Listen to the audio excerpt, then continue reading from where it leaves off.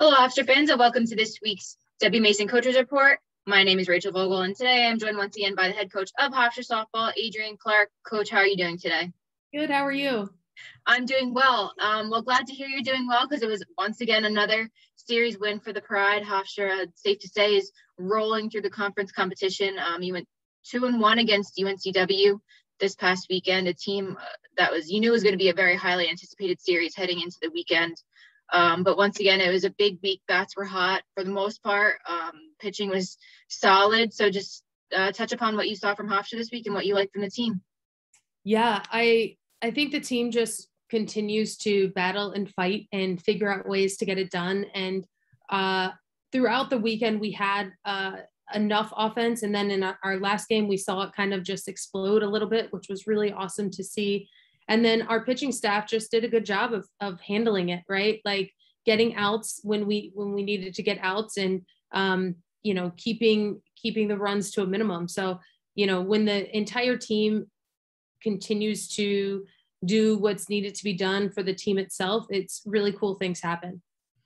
Definitely. But i think the highlight of the week um, was the offense as you mentioned a season high 11 runs in that final game which had to have felt great. You put the p- ball in play, you caused havoc, you were hitting the ball solid um, nonetheless. And Megan Giordano had a huge week at the plate.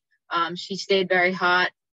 And once again, several other players just stepped up when their name was called. So um, just talk about the consistency now that you've seen week to week from your team.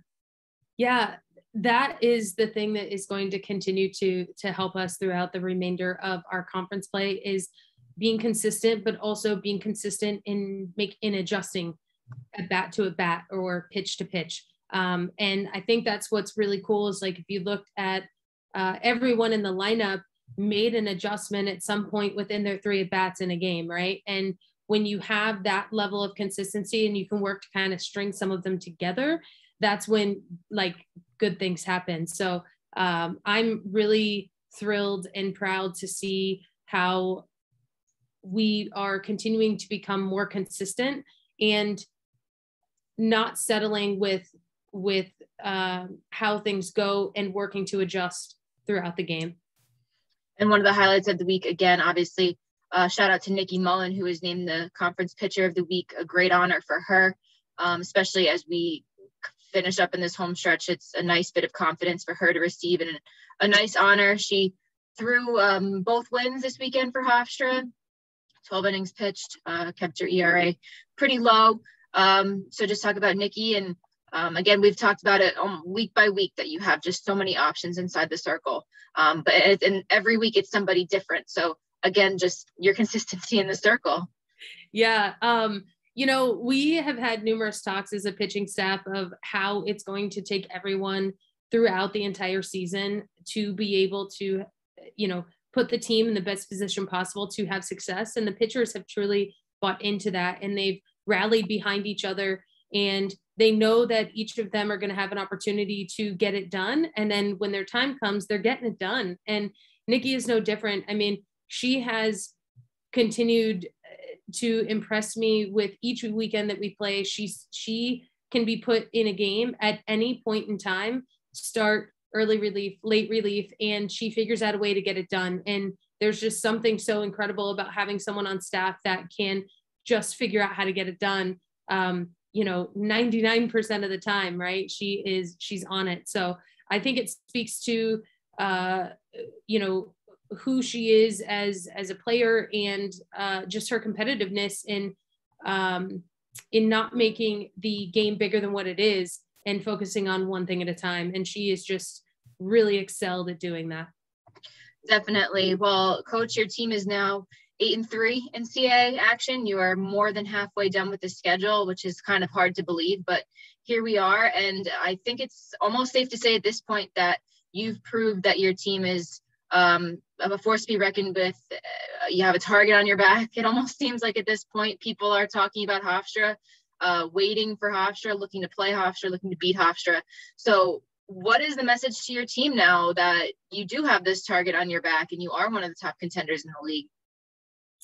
Yeah i mean i i guess i would say that we don't see it that way. Um i don't think that we feel or see that we have a target on our back but rather that we are committed to you know doing whatever the team needs uh, at any given time to have success. So the more that we can just focus on what our identity is and and what works for us and then make changes within you know what works for us is how we're going to continue to take it one day at a time one step at a time. And um, you know we've spent a lot of time uh, talking about just the game itself and learning the game. And each week our team continues to learn the game to a, to a level that i don't even know that they even realized they could. So the more that we just kind of focus on making the adjustments and taking what the game is going to give to us on that that given day um, the more success we're going to continue to have yeah, sounds good. Control the controllables, I guess, as they would say.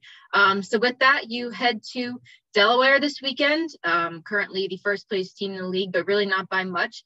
Um, should be another very, very highly anticipated series for Hofstra.